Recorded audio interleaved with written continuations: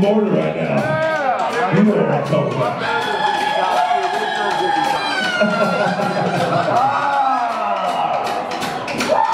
what y'all been drinking, man?